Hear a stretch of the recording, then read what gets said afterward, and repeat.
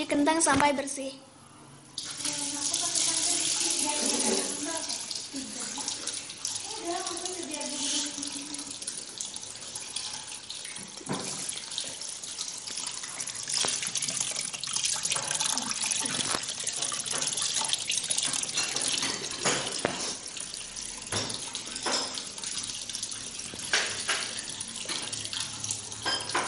Kupas kentang dan telur puyuh.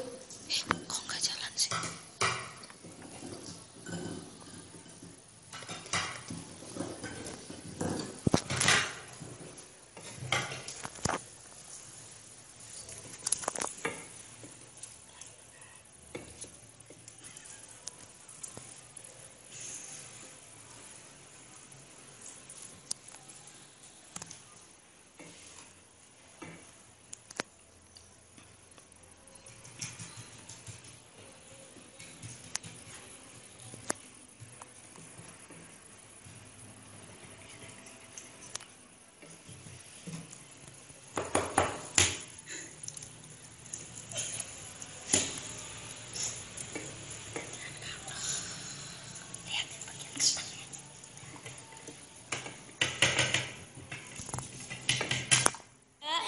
Cuci kembali kentang yang telah dikupas.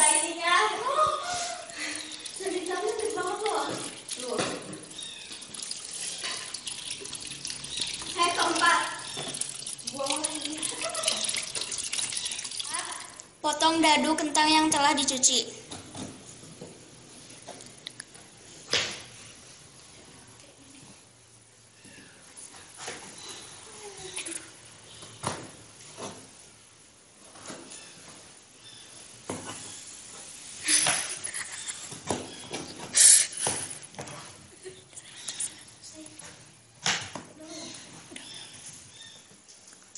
Kelima. Panaskan dulu minyak. Keenam, masukkan kentang ke dalam penggorengan. Nah, jangan dulu.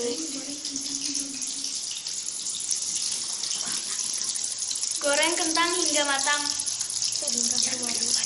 sehingga berwarna agak coklat. Tujuh, tiriskan kentang yang telah digoreng. Teh udah.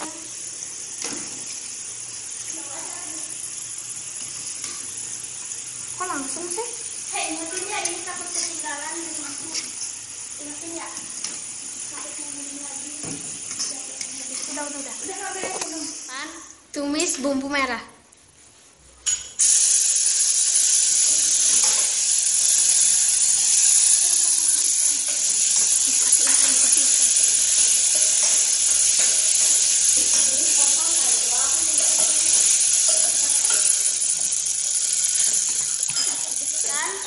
Masukkan ken- masukkan telur puyuh Dan kan dan kentang. dan campurkan. Dan campurkan. Aduk dan campurkan lalu aduk. Dan campurkan keduanya lalu aduk sampai merata.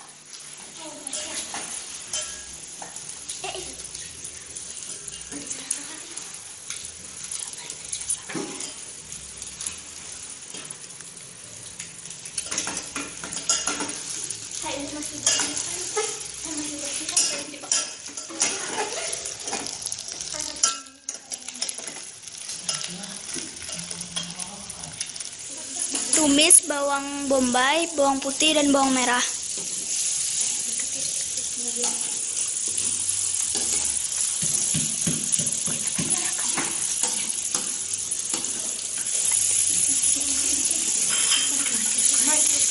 Masukkan serai dan daun salam.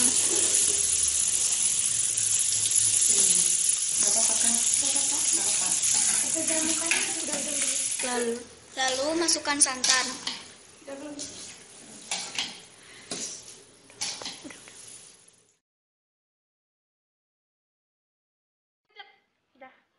Assalamualaikum warahmatullahi wabarakatuh.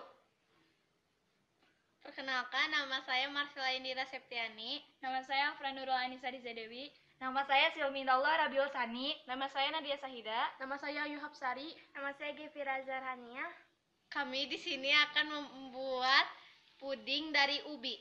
Langkah pertama, masukkan ubi ke dalam panci yang sudah men- air mendidih.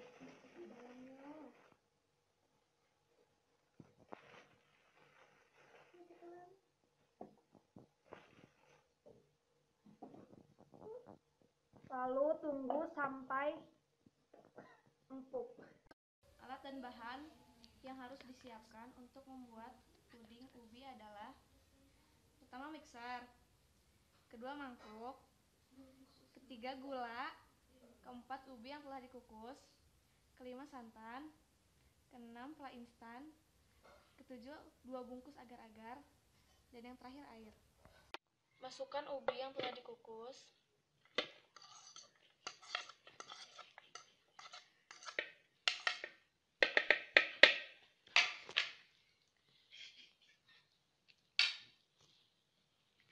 masukkan santan,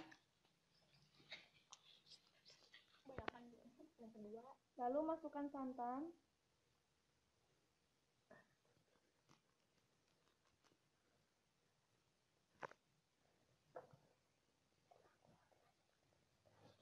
Gula secukupnya.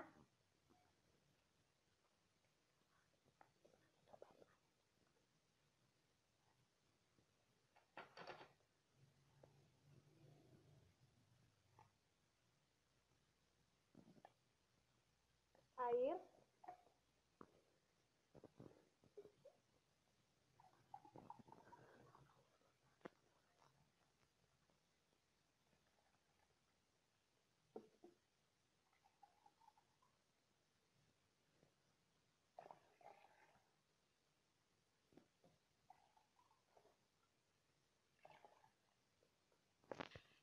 lalu mixer selama kurang lebih 5 menit.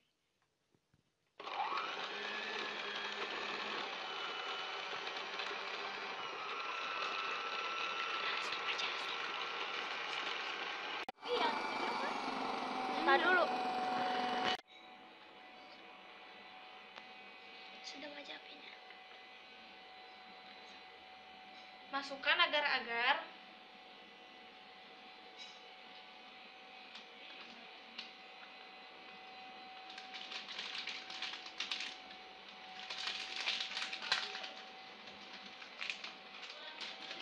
tunggu sampai mendidih.